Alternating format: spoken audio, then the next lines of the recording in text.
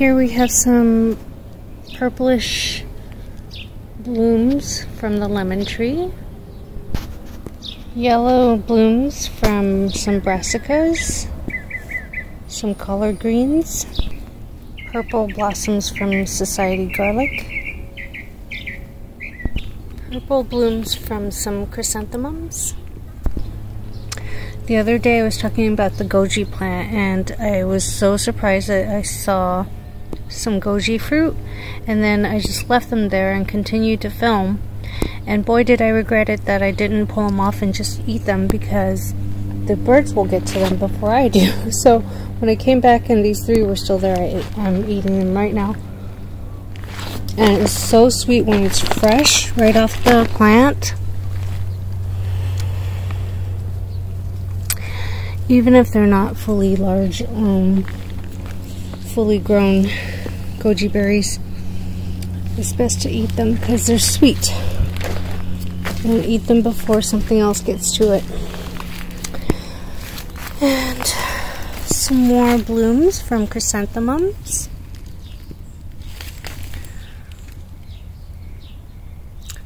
And each plant has so many buds, it makes like hundreds of flowers. My hibiscus is starting to open up again as others fade. More nasturtiums flowers. Some pomegranate blooms. More purple society garlic blooms. My Asiatic lily bloom. My yellow mums that are doing great.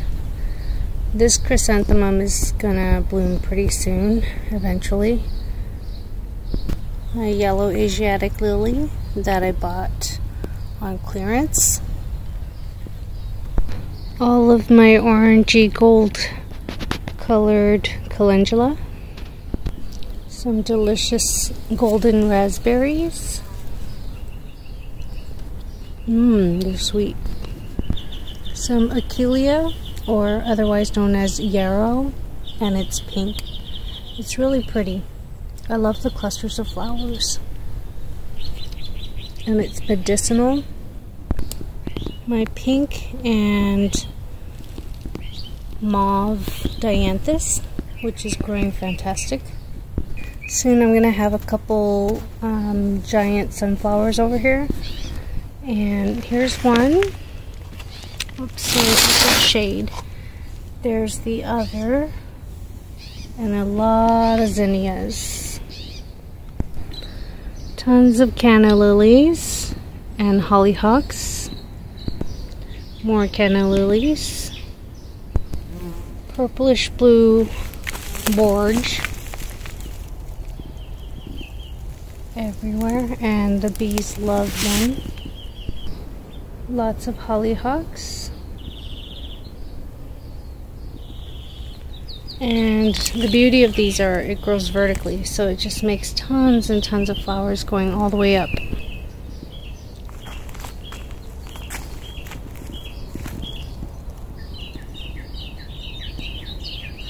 More nasturtium. This is a yellow variety.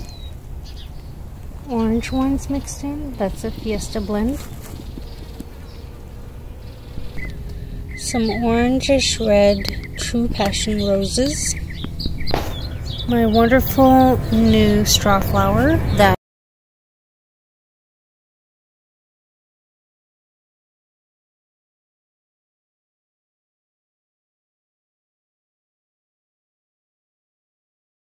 So it turns from a pink to a yellow flowers and it sounds like straw when you rustle it and it's very long lasting. I'm probably gonna harvest the flowers and bring them indoors so it'll encourage it to bloom more.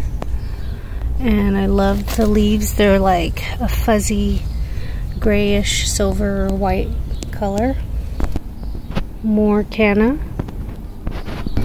Tons of roses. Tons of bougainvillea pinkish colored nasturtium right next to my red pineapple sage and that one's doing really big it's tripled the size It has tripled the size that, since I bought it last year. So there you have it folks.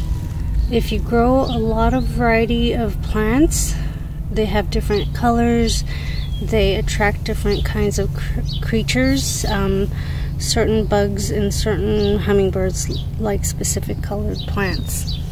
And each plant lends not only different shape, different size. So something like this, or like the canna, the hummingbirds like to go and get the nectar from them. So things of different colors, sizes, shapes are specific to um, specific insects and birds that like them. And they also, different plants lend different scents and attract and repel specific things.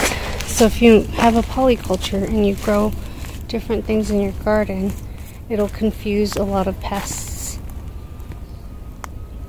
I mean, I'm growing in this area peppers, brassicas, nasturtium, green onions, trying to grow some basil in this bed, the pineapple sage, and some fennel.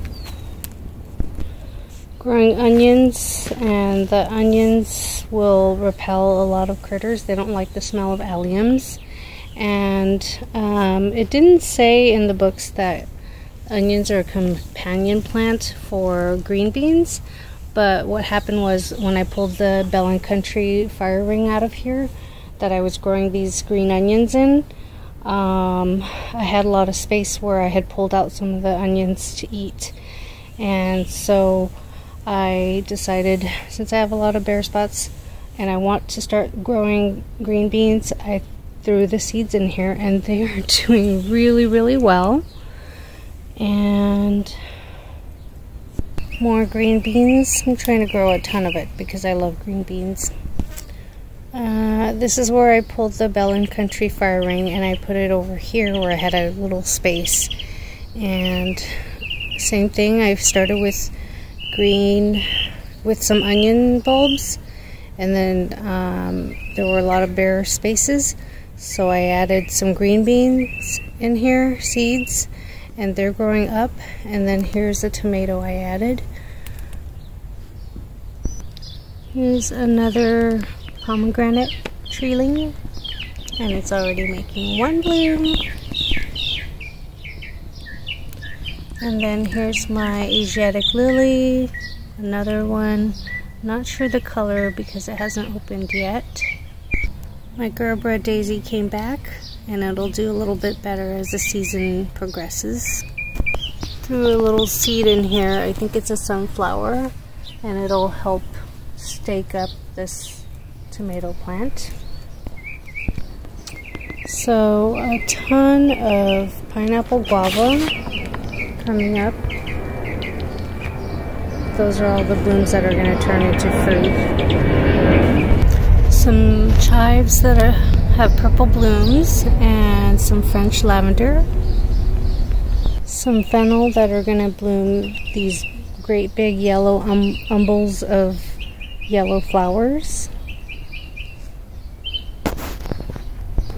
Sometimes I take anise and fennel and stuff like that and I cut it and throw it into the coop. So if the chickens eat it it's good for them. It's herbs. I'll throw mint in their coop all kinds of stuff to help them um, with their digestive system.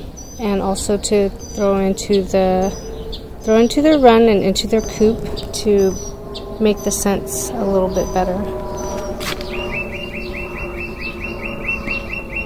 I think this will be the first year that I get a lot more pineapple guava since I've grown it. Yes, last year I had about oh five fruit, and last year the apricot um, tree had several apricots, but then it was eaten by something. And earlier in the year, there were a lot of apricots that dropped out of the tree, but now I am seeing some fruit.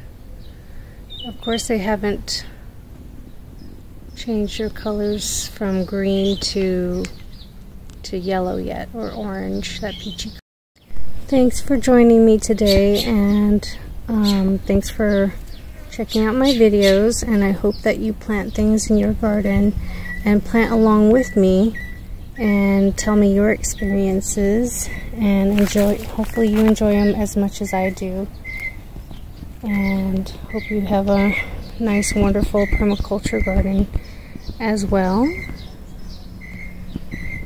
Have a great day. Please like subscribe and share my videos and see you in the next one